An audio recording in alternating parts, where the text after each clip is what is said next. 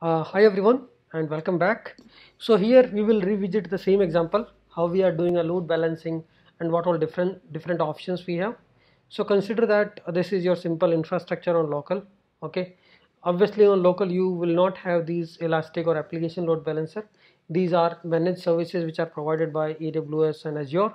You can just put a simple Nginx as uh, we talked about but consider that there is there is some kind of a load balancing you have you have placed before talking to the microservice okay? So now we have a two different instance of same microservice. It can be a two different machines having one uh, 2 GB and one core system T uh, T2 mini or T2 micro system provided by AWS okay? These are EC2 instance you can say which are small smaller system one core and 2 GB one core and 2 GB one core and 2 GB okay? Now we have distributed the traffic between these two different instances. So this is a uh, infrastructure level load balancing we are doing because we are routing the traffic to a particular instance 50-50 okay there can be a different kind of algorithm to distribute the traffic based on the resources and they may be talking to the same resources because this is the same microservice. These are not two different microservice.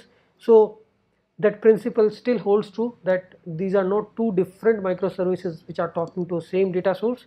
They are talking to the MySQL, MongoDB and all but like sometimes what we do is uh, we put some keys key value pairs in the redis and in that particular case if this service is reading or writing into the redis then this service should also be able to read and write. Because if first request is coming to this then second request will come to the another instance and the second instance should have a data available in redis to read. Okay? That we have to take care when we are distributing the traffic to the multiple machines. Then whatever the session data which first machine is saving second machine should also be able to read that and validate it. Okay whatever the data you have saved here we should be able to read it otherwise your request will be invalid because this http communication is stateless. First request is coming here second can come here also. Okay so this is a basic simple infra. Now we come to know okay we can use nginx for the local setup. But what if we are uh, using uh, we are deploying this application creating the infrastructure on AWS then obviously we have to take care take the decisions okay what all different kind of load balancers we can use. Do we need a load balancers uh, before the API backends? Like these are the server here it can be application load balancer. And then route 53 will be talking to this load balancer. It will be routing the traffic based on the API endpoint. So there are a lot of internal configurations you can make. But for local setup and to orchestrate the whole system using local what we can do is we can set up a docker containers. We can write a simple docker file where we can have our front end. Our simple auth consider that this is the auth service. Okay this one is the auth service that is also having a redis okay? And we are still storing the auth temporary auth data in the redis. Once user is logged out we are clearing that out.